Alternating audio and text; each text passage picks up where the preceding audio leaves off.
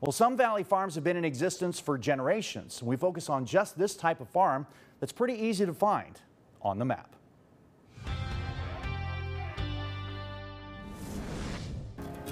Route 137 at Route 65. It's a particularly busy intersection in the Central Valley of California, but in 1894, it wasn't so. In fact, this is the location where the first commercial planting of olive trees, like this one, took place.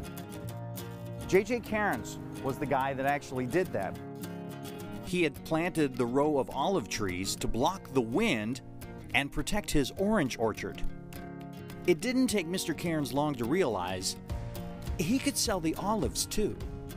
Well, a couple of generations have gone by, but the Cairns family is still running a fruit stand at that intersection of 137 and 65.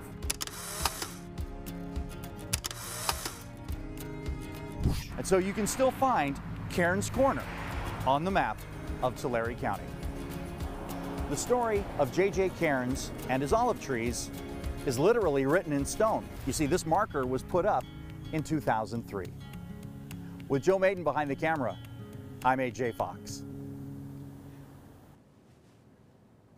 You can watch this and other installments of our On the Map series brought to you by the Fresno County Historical Society. Just go to our website, yourcentralvalley.com forward slash on the map.